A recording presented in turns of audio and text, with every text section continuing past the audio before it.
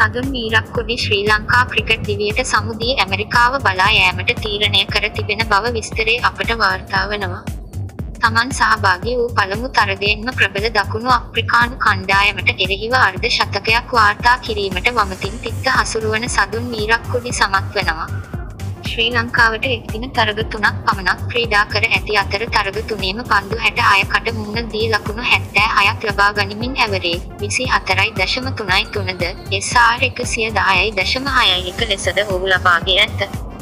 ඔහු ක්‍රීඩා කර ඇති තරග තුනෙහිම හතරේ පහරවල් නවයක් සහ හයේ පහරක් සමගින් ඔහුගේ වැඩිම ලකුණු ලෙස ලකුණු පනස් අටක් ලබාගෙන ඇති අතර ඔහුව දිගින් දිගටම ශ්‍රී ලංකා ක්‍රිකට ආයතනය විසින් ප්‍රතික්ෂේප කිරීම නිසා ඔහු මෙම තීරණය ගැනීමට පෙළඹී තිබෙනවා.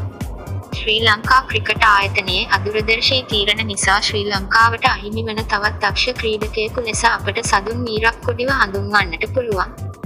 අප ඔහුගේ ඉදිරි ක්‍රිකට් අනාගතයට සුබ පතන්නේ ශ්‍රී ලංකා ක්‍රිකට් ක්‍රීඩාවේ අනාගතය ගැන දැවැන්ත ප්‍රශ්නාර්ථයක් රසිකයන්ගේ සිත් තුළ ඉතිරි කරමිනි.